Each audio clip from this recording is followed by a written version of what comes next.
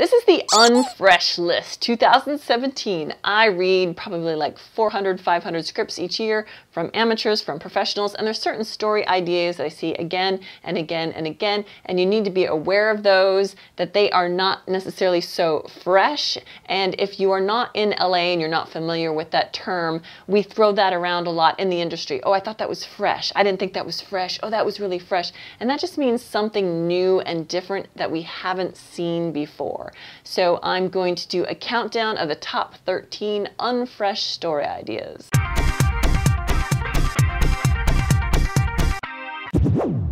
Number 13 is the band gets back together. This could either be a band that was really hot and they were at the top of the charts, or it's a group of people who were in a band in high school getting the band back together again. I would actually put this like in the top five a couple years ago. There aren't as many of them now, but there's still a lot of band getting back together again stories. Number 12 is God, Jesus, angels, and demons as characters. So we have scenes in heaven, we have scenes in hell, or we have scenes all on the earth, but Jesus is on the earth, or God comes to the earth, or Satan comes to the earth, or angels are on the earth. You get the idea. Number 11 is interesting. I call it Mom on Strike. I think there are a lot of really unhappy housewives out there. And so these screenplays are about women feeling dissatisfied with their lives. They spend their whole day just cleaning up after other people and doing laundry and packing lunches. And they decide, forget it, I'm out of here. And they take off and they leave their family and they go on some other adventure. Number 10 is a detective chasing a serial killer. Now, with these stories, I'm not saying don't write these or you can't write these, but just be aware that a lot of other people are writing these and you really need to make sure you've got some really unique interesting, different idea that can kind of make these well worn story ideas fresh. Number nine is the road trip everybody wants to just go get in the car and tour around and look at things. A lot of them are kind of the pointless road trip. Every once in a while they have some destination they're specifically going to, but there's a whole lot of road trip. Number eight's interesting. I'm seeing a lot of this lately, and it is the suicidal character. They're trying to commit suicide, or they're suicidal throughout, or they build up to trying to commit suicide. Number seven is vampires and zombies. I bet you thought this would be higher. No, people have kind of calmed down on the vampires and the zombies. They realize everybody was writing zombie and vampire stories. Now, the funny thing about the latest vampire and zombie stories is they are about zombies and vampires, but then they just call them something else.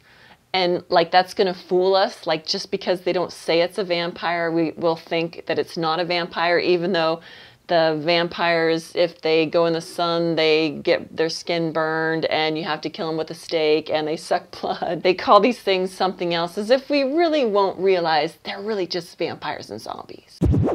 Number six is home for a blank. This is home for a holiday, home for a wedding, home for a funeral, and the characters just kind of hang out in their hometown and usually they're dissatisfied with their lives so they start to like look at pictures of themselves when they were younger in their old room and they usually start a romance with whoever they used to be involved with years ago Number five is an old person interacting with a young person. Could even be combined with a road trip. The old person has to go on a road trip with the young person. And again, I'm not saying don't write these or that no one should write these. I'm just saying I get a lot of these stories, and more often than not, the gist of the whole story is just, oh, look how cranky they are. Oh, they always use a smartphone. And there's not much story besides that, them just kind of like getting on each other's nerves. Number four is demon possession movies. Oh, those nasty little demons just love to possess people. Number three is the haunted house or the cabin in the woods. These tend to be kind of typical. Somebody moves into a new house. Oh no, what's that noise? And then they find out there's some spirit that's all mad about something that happened in the past. Or it's a group of young people that go out to a cabin in the woods just to hang out. Maybe it's spring break, maybe it's summer, and oh no, somebody's trying to kill them. Yeah, we've kind of seen that before. Number two is bucket list movies. So many bucket list movies, which is interesting because that movie came out so long ago.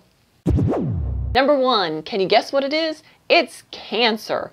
Everybody's dying of cancer. There's so many scripts I'll read and they'll be really interesting and then boom, I get the scene. Oh, they're at the doctor's office. Uh-oh. Oh, I know it's coming. And then they say, "Oh, it's stage 4." Oh, who who could have guessed it would have been stage 4 cancer? And then that's sometimes usually combined with a bucket list and then an old person and a young person go on a road trip and sometimes home for a something. So there's a lot of cancer out there. I'm serious. I would say like 5% of the scripts I'm reading somebody has cancer. So that is the list. That's what I'm seeing out there and that's just to make you aware of the terrain. That does not mean you should not write these stories, doesn't mean you can't write these stories. Just be aware you've got to really have a fresh, interesting take on these stories to make your work stand out. So I hope you liked this video. If you did, don't forget to give it a thumbs up. Don't forget to subscribe, and I will talk to you later. Bye.